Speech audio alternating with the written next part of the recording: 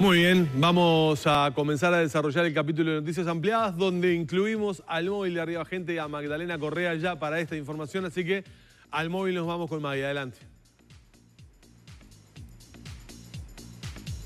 Bueno, retomamos el contacto desde el móvil de arriba, gente, con otro tema ahora porque el Sindicato Médico del Uruguay denuncia falta de avances en un acuerdo que había con el Ministerio de Salud Pública y tiene que ver justamente con la regulación de los médicos en las puertas de emergencia. Por ejemplo, la cantidad de médicos eh, que corresponden para determinada cantidad de pacientes. Pero vamos a abordar esa temática con Federico Preve, integrante del Comité Ejecutivo del SMU.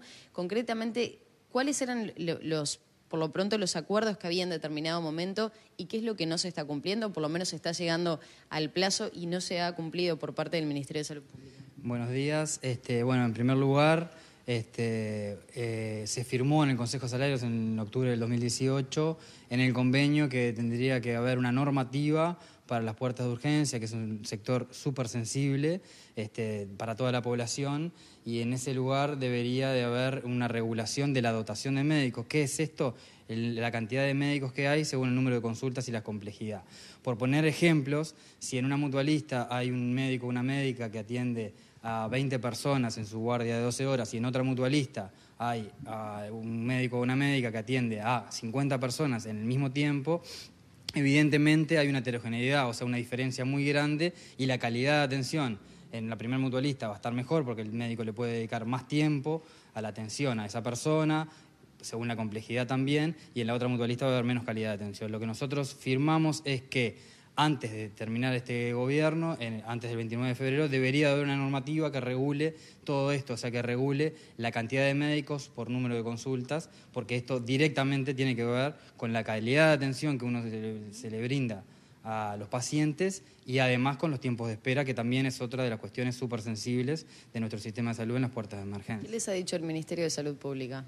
El Ministerio de Salud Pública, en realidad, en este sentido, se está trabajando en una comisión técnica, pero estamos a un mes, hay muy pocos avances, no hay una normativa ya establecida, nosotros hemos hecho propuestas y tenemos, en realidad, este, serias dificultades porque eh, a un mes nosotros eh, tenemos la sospecha de que no hay una voluntad explícita de que esto salga y nosotros queremos que esto salga porque eh, nos parece importantísimo para la calidad de atención en las puertas de urgencia, que, como todos sabemos, cuando viene el invierno se congestionan, hay altas esperas, etcétera. ¿Es un reclamo de los pacientes hacia los médicos también, por ejemplo, porque son las personas que directamente están vinculadas a los usuarios? Eh, sin duda. Esto, en, lo que va a redundar, es en mejor calidad de atención y en menos tiempo de espera para la gente.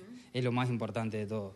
Este, obviamente que nosotros, las condiciones de trabajo van de la mano de esto y nosotros cuanto más tiempo tengamos para atender a la gente, y particularmente a la gente que viene más grave, es mejor.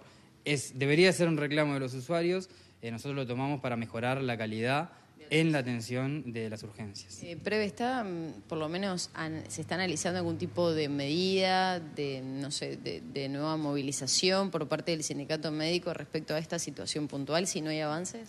Bien, si no hay avances en las próximas semanas, en la próxima reunión que tenemos para la primera semana de febrero, seguramente se discuta en el Ejecutivo de febrero del sindicato y bueno, vamos a tener, vamos a solicitar una reunión directa con el ministro para este, eh, que tener la voluntad política explícita de que esta normativa tiene que salir antes del 29 de febrero, como está conveniado en el Consejo Salarios. Muchas gracias por este contacto. Gracias a ustedes. Bueno, seguimos con más Arriba Gente.